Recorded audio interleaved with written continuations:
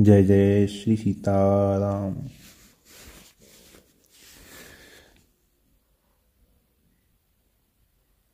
जब मनुष्य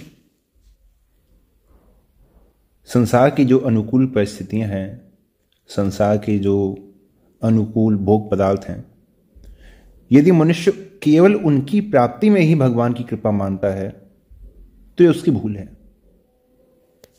क्यों? क्योंकि भगवान की कृपा तो निरंतर है, सब पर है और हर परिस्थिति में है। जीवन में जो भी ये हमारे अनुकूल जो भोग पदार्थ हैं, जिनमें हमारी बुद्धि उनके अनुकूल रहती है, ये सब तो मनुष्य को माया के और मोह के बंधन में बांधने वाले हैं और उस मोह में बांधकर भगवान से अलग करने वाले हैं। और हम क्या करते हैं? उनकी प्राप्ति में ही भगवान की कृपा मान लेते हैं। ये हमसे भूल हो जाती है।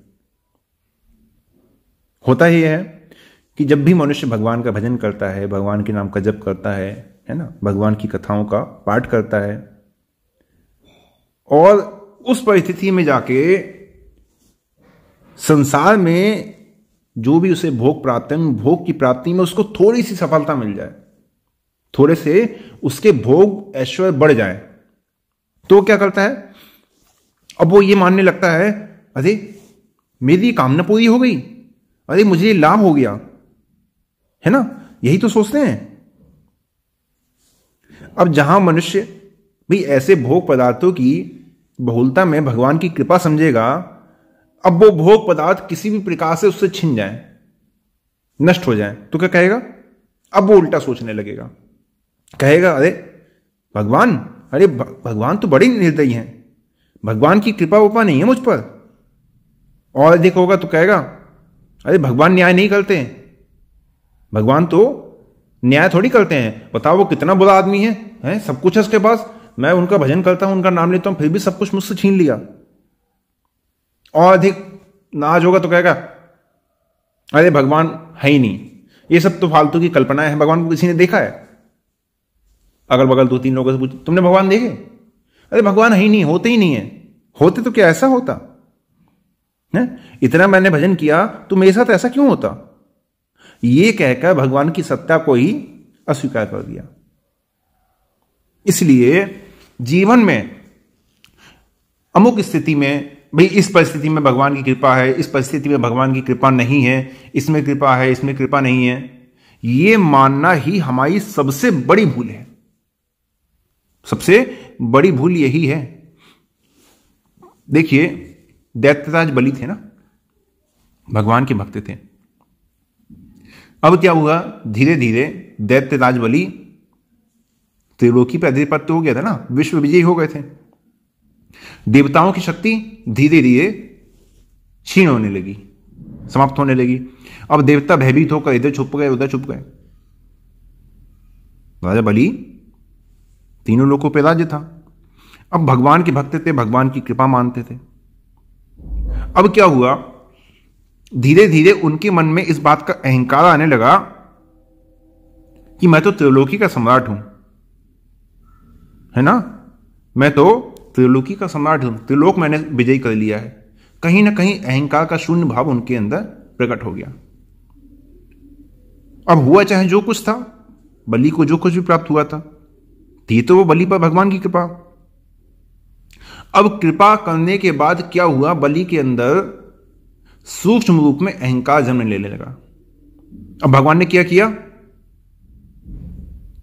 भगवान ने बलि के सारे राज्य, सारे ऐश्वर्य का हरण कर लिया।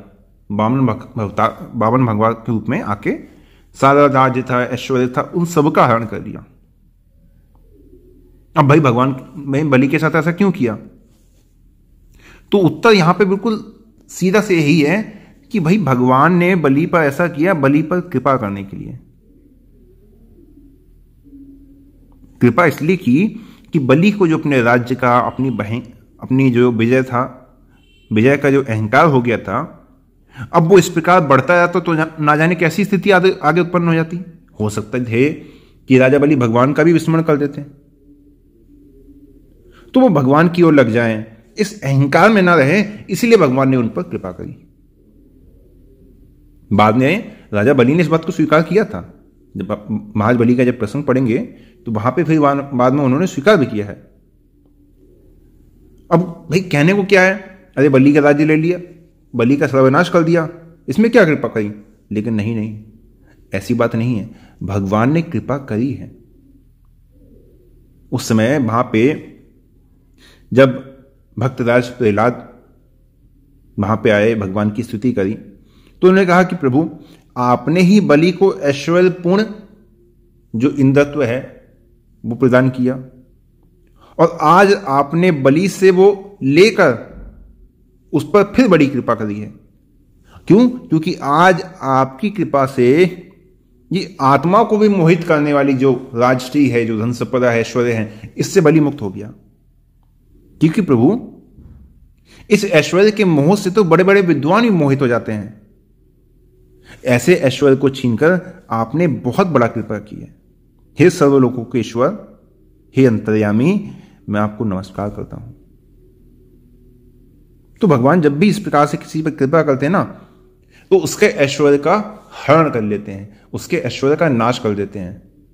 अब ये तो प्रसंग बस आ गया कि जैसे यहाँ पे भगवान ने कह दिया कि मैं जिस पर कृपा करता हूँ उसके धन वैभव ऐश्वर्य का ना, नाश कर देता हूँ। लेकिन भक्तों ने इसको उल्टे तरीके से ले लिया भजन में लग गए भगवान की भक्ति में लग गए कहीं कुछ नुकसान हो गया दुकान में चार चीज़ें बिकी नहीं कुछ पैसे का नुकसान भगवान ने किया है। नहीं ऐसी बात नहीं है। वो बलि का प्रसंग है उस प्रसंग से आपको प्रेरणा लेनी चाहिए। है ना? जब भी ऐसा होता है तो एक बार को तो मनुष्य दुखी हो जाता है कि करें क्या? है ना?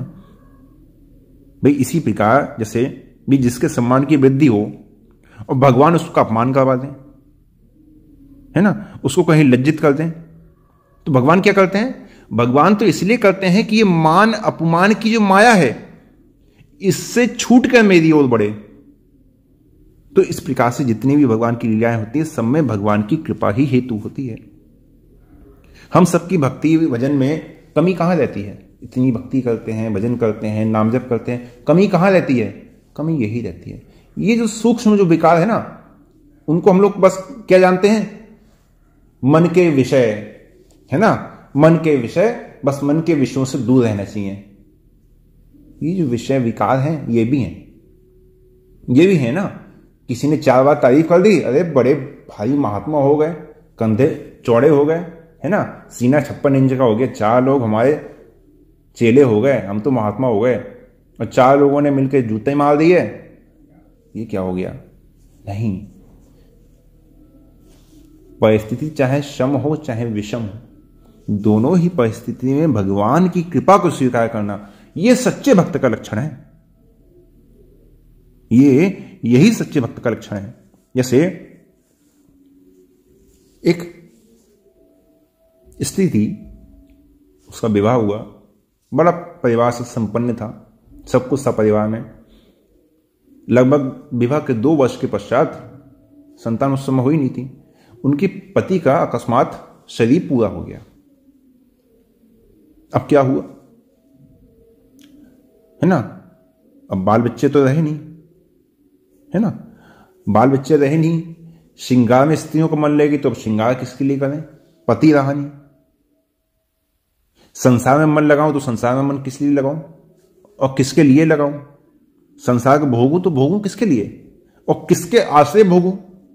तो क्या हुआ? अब परिवार में अकेले हो गई। बाल बच्चे नहीं। जो अपने देवदानी है, जेठानी है, उनकी बात आभूषण भी नहीं। है ना? संसार में रम सके वो भी स्थिति खत्म हो गई तो अब क्या करा भगवान का भजन। निरंतर रूप से भगवान के भजन में लगते हैं।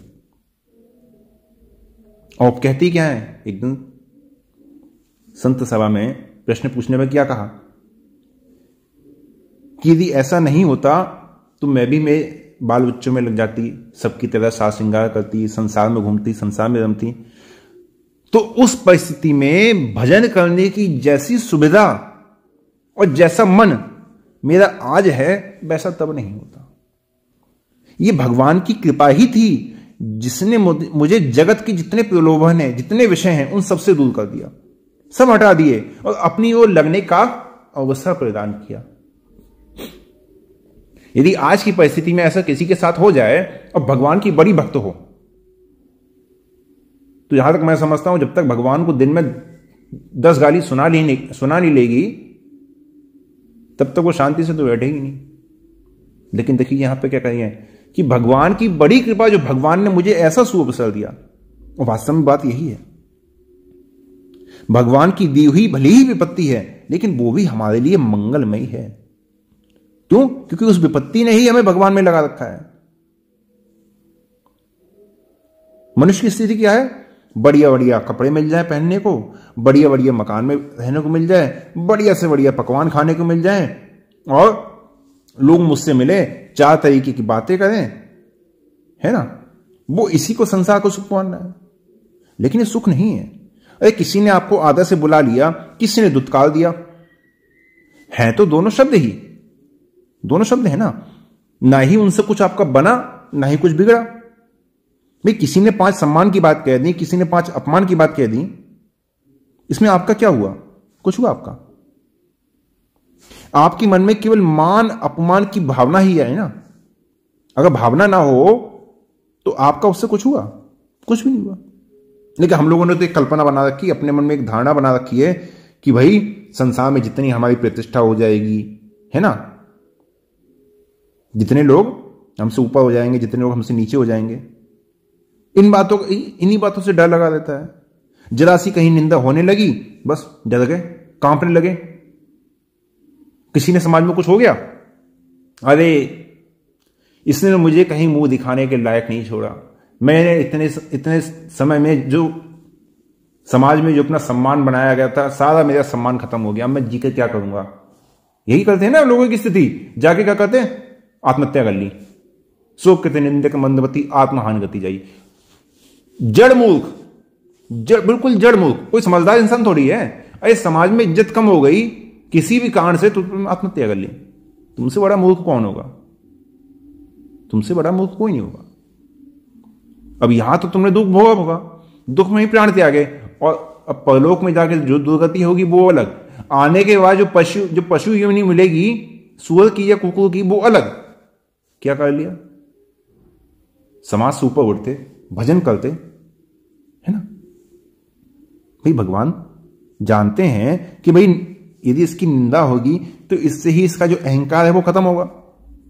जैसे कोई डॉक्टर हो, और आपको रोग हो गया हो तो आपके रोग को दूर करने के लिए यदि डॉक्टर को कोई कड़वी दवा आपको देनी पड़े तो वो देगा नहीं क्या? वो देगा ना? बस उसी प्रकार हमारे मन को शुद्ध करने के लिए निर्मल करने के लिए। क्यों? क्योंकि निर्मल मन जन सो मोही पावा। आपके मन को निर्मल करने के लिए वो परिस्थिति आपके सामने लाई गई है कि आपका मन निर्मल हो। जैसे मान लीजिए, भाई आज देश के प्रधानमंत्री हैं, मुख्यमंत्री हैं, आपके क्षेत्र का कोई बड़ी धनी मानी कोई व्यक्ति है, आपके मन में क्या है? अरे, ये बहुत बड़ा आदमी है, बड़ी पहुँच है इनकी, बड़े धनी हैं। अरे उनके साथ बस बैठने को मिल जाए, उनके साथ बैठ के फ़ोटो खिंचा लें। होता है ना? कोई हीरो, हीरोइन आए, कोई नेता आए तो लोग क्या करते हैं? बस सेल्फी लेके एक सेल्फी। लोग इंटरनेट पर डालते हैं ना? आपने देखा होगा। कोई संत महात्मा है, कहीं मिल गए दर्शन हो गया, उनके पैर छू हैं फ़ोटो खिंचवा लिया। तुरंत डाल दिया इंटरनेट पे। है ना? तुरंत नेट पे डाल दिया। महाराज जी से आशीर्वाद लेते हुए लोगों ने ये क्या है? ये क्या है? ये आपके अहंकार को बढ़ाने वाला है कि बस, अरे धनी हैं, अरे बड़े प्रतिष्ठित हैं, बड़ा ऐश्वर्य है, अरे मुख्यमंत्री हैं, बस इनके साथ किसी प्रकार बैठने को मिल जाए। ये तो बस हमें किसी तरह बैठे लें अपने पास, हैं? अरे कितना बढ़िया होगा। अरे हमारा यश बढ़ेगा। चार लोग हमें जानेंगे, हमारी फ़ोटो पे लाइक ज़्यादा आएँगे, कमेंट ज़्यादा आएँगे, लोग शेयर ज़्यादा करेंगे। अरे, इतने बड़े आदमी हैं, ये हमारे घर आ जाए। अरे, तब तो कितना बढ़िया होगा ना, है? मोहल्ले वाले कितना हमें देखेंगे, अरे वाह इतना बड़ा आदमी इनके घर पे आया है। अरे, कितने भाग्यवान हैं। हैं? इतना बड़े आदमी हमारे घर आ गया।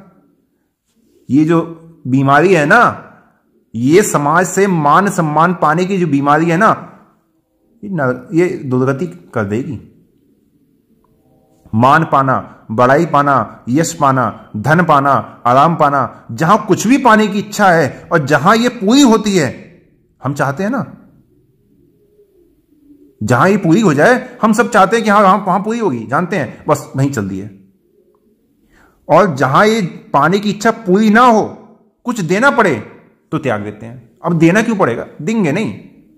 अच्छा मुख्यमंत्री जी के साथ फ़ोटो खिंचानी है? एक फ़ोटो का भाई साहब पचास हज़ार रुपये लगेगा।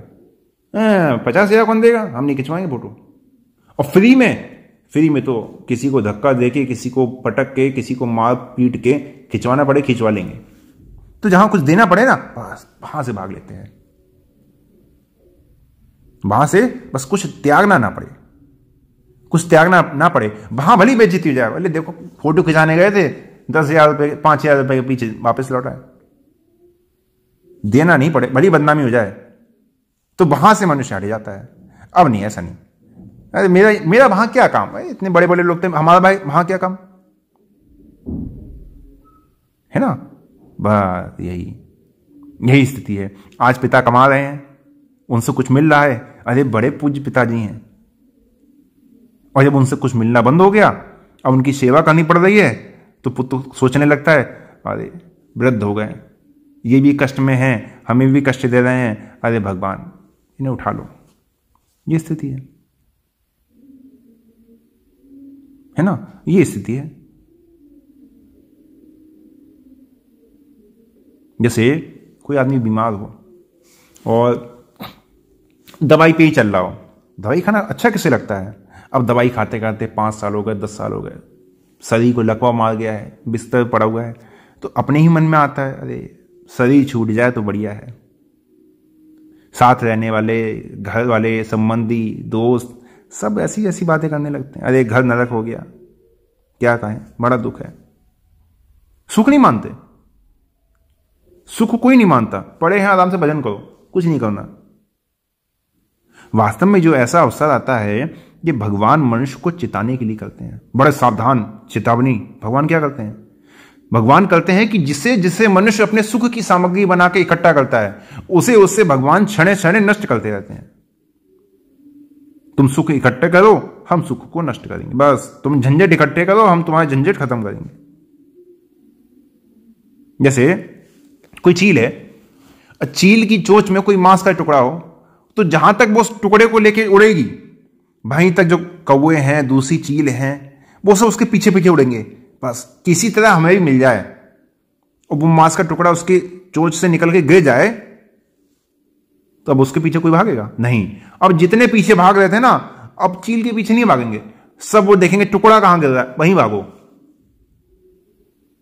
बस, यही समझ लो कि संसार की जितनी वस्तुएँ हैं ना, वो सब इस मांस के टुकड़े की तरह हैं।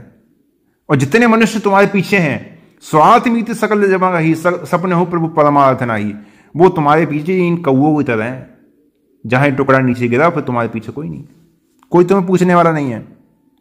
मान नहीं रहे, धन नहीं रहे, स्वास्थ्य नहीं रहे, यश नहीं रहे, मकान नहीं रहे, नौकर चाकर ना रहे, खाने को कुछ ना रहे तो कोई आपके पास आएगा। ईमानदारी से बताओ, कोई आपके पास आएगा? कोई नहीं आएगा। लेकिन जो भगवान का भक्त है, जो हर परिस्थिति में भगवान की कृपा मानता है, वो सोचेगा ये बढ़िया हुआ। भगवान ने बड़ी कृपा करी। जितने भी गिरने वाले थे, जितने गिराने वाले थे, सब हट गए। ये सही हुआ। ये सही हुआ। सब हट गए। भागवत जी में एक कथा आती है। है ना? नल नल कुंवर और मणिग्रीव। दो भैया थे गंधर्व कुबे के पुत्र थे। दिन रात क्या करते थे? बस बिहार करते थे। कोई रोकने टोकने वाला नहीं। है ना? यौवन था, धन संपत्ति थी, प्रभुत्व था, अविवेक। बुद्धि तो थी नहीं। अब देखो, कहा जाता है कि चारों में से एक भी हो जाए तो अनर्थ हो जाता है। और इन लोगों में तो चारों इकट्ठे हो गए।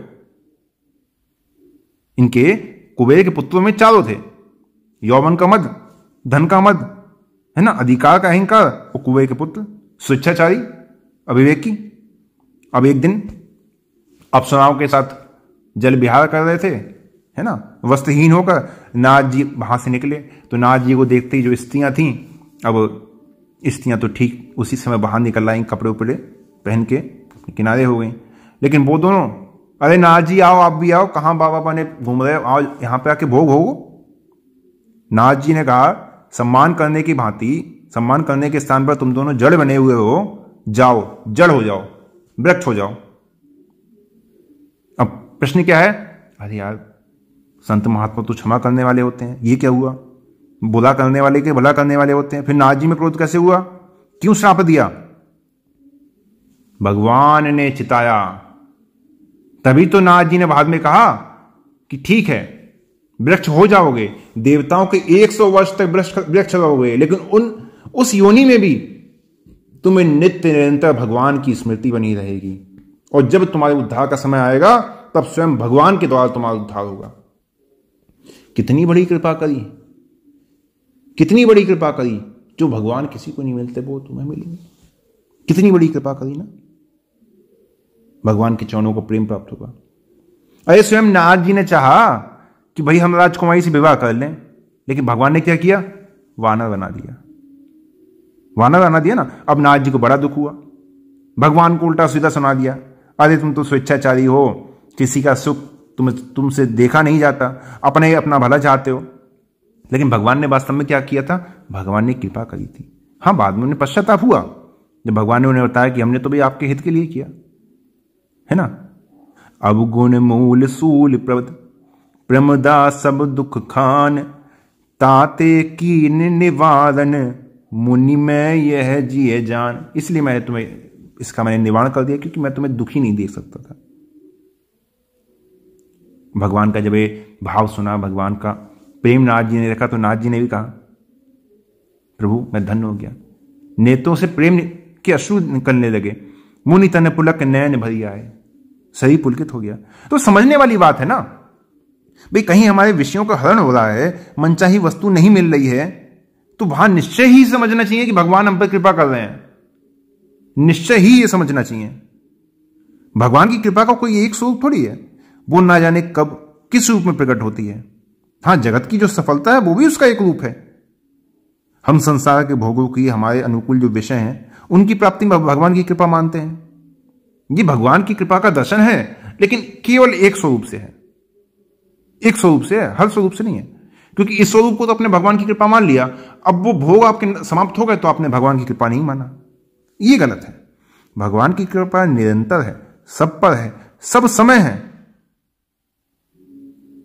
और यहाँ तक यह कहा जाए कि हमारे अनुकूल जो विषय भोग हैं, यदि भगवान उनका हरण करते हैं, उनका विनाश करते हैं तो वहाँ फिर भगवान की जो कृपा है वो विशेष रूप से होती है।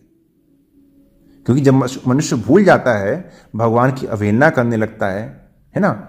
अपनी भक्ति को, दूसरों के हित को, भलाई को भूल जाता है और अपनी लौकिक सिद्धियों में जब लग जाता है ना, तब भगवान उन सभी वस्तुओं का हरण कर लेते हैं। दूर कर देते हैं। मान गया, धन गया, यश गया, प्रतिष्ठा गई, सब चला गया ना? अब मनुष्य रोने लगता है, छटपटाने लगता है। क्या करें? अब उस समय भगवान मुस्कुराते हैं, हँसते हैं, देखो, ये मेरा प्यारा बच्चा है। कितनी विपत्ति में था, सारी विपत्ति से बच गया। भाई जिसे हम संपत्ति मानते हैं, वो विपत्ति है भाई। विपतो नैब विपदा विपत्ति कोई विपत्ति नहीं है। और संपतो नैब संपदा। और जितनी संपत्ति तुमने इकट्ठी कर रखी है, वो कोई संपत्ति नहीं है। विपद विस्मरण विष्णु, संपन्न नारायण स्मृति। भगवान की विस्मृति ही विपत्ति है और भगवान की स्मृति ही संपत्ति है। कह हनुमंत, विपत्ति प्रभु सोई, जब तब सुमिरन भजन ना हुई। बस, जिस समय भगवान का साधन, भगवान का भजन, भगवान का स्मरण नहीं होता ना, वो समय भले ही सौभाग्य का माना जाए भले ही चारों तुम्हारा यश हो रहा हो, कीर्ति हो रही हो तो बड़ी लोग तुम्हारे पूजा पाठ कर रहे हो, मान कर रहे हो। सारे भोग उस समय तुम्हारे सामने हो, सारे सुख तुम्हारे पास हो। लेकिन उस समय यदि भगवान को भूले हुए हो, भगवान की ओर से उदासीन हो तो तुम विपत्ति में हो। असली विपत्ति यही है, जब तुम सुमरन भजन न हुई। और इस विपत्ति का भगवान हरण कर लेंगे। समझ लो, जितना मान है, सम्मान है, ऐश्वर्य है, वैभव है, भोग है, सब नष्ट कर देंगे। क्योंकि वो नहीं चाहते कि मेरी संतान विपत्ति में रहे। वो नहीं चाहते। बस। संपत्ति क्या क्या देते हैं? केवल अपने स्मरण की। सब छीन लिया ना, अब भगवान का स्मरण होने लगा। भगवान हमने क्या किया? प्रभु, ये क्या हो गया? अब भगवान का स्मरण होने लगा ना। बस। यही भगवान की कृपा उत्पन्न हो जाती है। जितनी भगवान की कृपा है, बस यही भगवान की कृपा अफलित हो गई। है ना? लेकिन हम हम बस यही बात समझते नहीं है। जब हम धन की प्राप्ति के लिए, संतान की प्राप्ति के लिए मकान हो गया, कमाई हो गई, यही सब तो है। शरीर इसी में तो उलझा है ना। बस शरीर के आराम, बढ़िया मकान, भगवान की कृपा इसी को मान लेते हैं ना। बस भगवान की कृपा को बहुत छोटा कर दिया और गलत तरीके से ले लिया। हाँ भगवान की कृपा ठीक है, यहाँ भी है, लेकिन यहाँ पे भगवान की कृपा तब है जब ये जो संपत्ति, जो सामग्री मिली है ना, इनको भगवान के समर्पित कर दो। इनको भगवान के समर्पित कर दो। और जहाँ भोगने लगे, जहाँ भूल गए, जहाँ धर्म से भ्रष्ट हो गए, जहाँ धर्म से भ्रष्ट होकर, जहाँ भोगों के गुलाम हो गए, बस। वही दुख में आ गए। वही वही लगेगा, बस, अब दुख हो गया। क्यों? क्योंकि जो विपत्ति है, उसका भगवान हरण करने वाले हैं। है ना? बस तो बस। भगवान की सच्ची कृपा कहाँ है? भगवान की सच्ची कृपा वही है, जहाँ भगवान का स्मरण हो, जहाँ भगवान का प्रेम हो, जहाँ भगवान के चरणों में अनुराग हो। कितने भक्त होते हैं। अभी चार दिन हुए भक्ति किए हुए, चार दिन हुए नाम जप किए हुए, भगवान से कहते हैं, अरे भगवान, बताओ, वो आदमी कितने पैसे वाला हो गया? है, वो कितना बढ़िया है, कितने बढ़िया से रहता है? बताओ, उसका व्यापार बढ़िया हो गया? है, आपने उस पर कृपा करी? हमारे साथ तो आपका व्यवहार अच्छा नहीं है, आपने हम पर कृपा नहीं करी। अब उन्हें भाई कैसे समझाया जाए कि भोग बहुत सारे हो जाना, भोग की बहुत, बहुता हो जाना, ये भगवान की कृपा नहीं है, ये भगवान की कृपा है। ये सब तुम्हें भगवान से दूर ले जा रहे हैं। अरे जाके प्रिय न राम वेद ही तजता ही कोटि बैन भी परम सन ही गोस्वामी जी तो कह रहे हैं, यदि इनके द्वारा भगवान की विस्मृति होती है, ये भगवान का स्मरण नहीं करने देते हैं तो इनको भी त्याग दो। तजो पिता प्रहलाद विभीषण बंधु भरत मेहतारी बलि गुरु तजो, है? बलि ने गुरु का तज कर दिया। लेकिन समझने वाली बात है। ये सब तो भगवान से विमुख करने वाले हैं ना। हमें चाहिए, हमारा ये कर्तव्य है कि हम सबको भगवान में लगाने का प्रयास करें। ना कि हमारे जो सगे संबंधी हैं, उनको नरक में ले जाने का प्रबंध कर दें। जितना आपके पास विवेक है, जितनी आपके पास समझ है चेष्टा पूर्वक यत्न पूर्वक सबको नाम का उपदेश समय समय पर कर। नहीं भैया, नाम जब करो, क्या करो? समय क्यों खराब कर रहे हो? नाम लो, है ना? क्यों? यदि आपके अपने संबंधी रोकते हैं तो क्या होगा? है ना? देखो, वो पिता पिता नहीं है, वो माता भी माता नहीं है, वो भाई, तुम्हारा भाई होकर भी भाई नहीं है। वो गुरु भी तुमसे द्रोह करने वाला है जिसे तुम इष्टदेव मानते हो। यदि वो तुम्हें भगवान में नहीं लगाता ना तो वो तुम्हारा देवता जो इष्टदेव है, वो भी बेकार है, वो भी किसी काम का नहीं है। जो भगवान से हटाकर तुम्हें भोगों में लगा दे, जो कहे, अरे, हमारी पूजा करो, हम तुम्हारे इष्टदेव हैं, क्या चाहिए? पैसा चाहिए? माया चाहिए, संपत्ति चाहिए, सब देंगे तुम्हें। वो तुम्हें भगवान से विमुख करके भोगों में लगा रहा है। वो कोई देवता उतना नहीं है। भगाओ, कुछ नहीं हो तुम, भागो यहाँ से। हमें ज़रूरत ही नहीं है। ज़रूरत किसकी है? तुलसी सो सब भांति परम हित, पूज प्राण ते प्यारो। जासो हो ये स्नेह राम पद, ए तो मतो हमारो।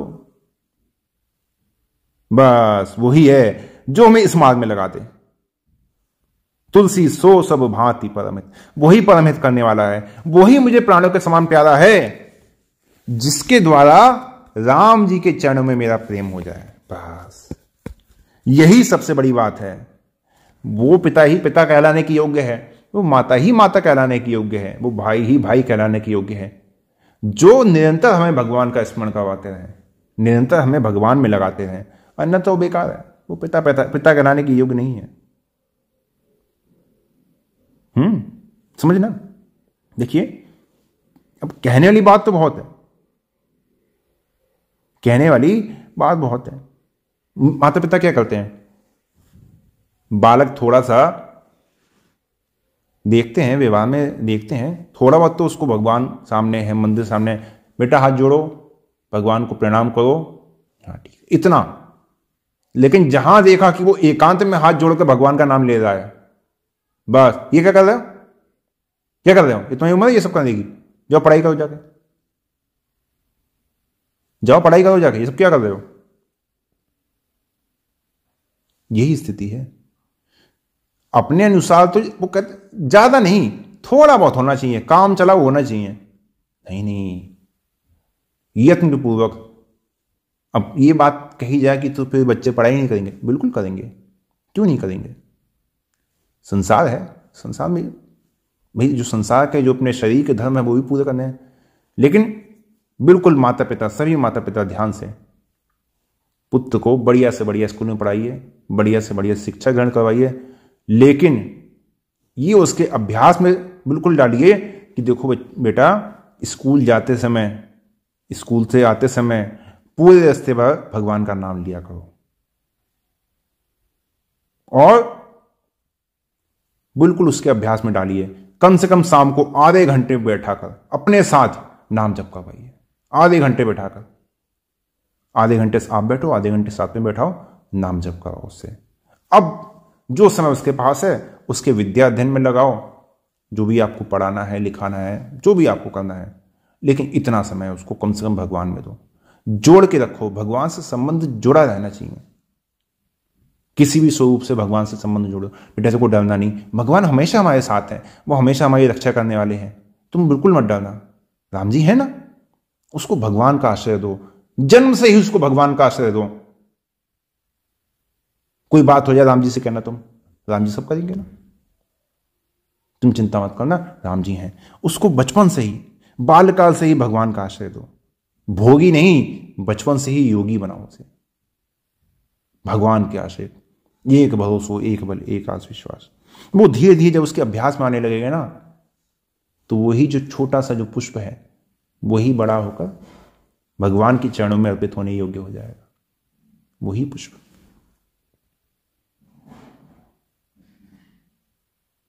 और आज के लिए यही विश्राम देते हैं। जय जय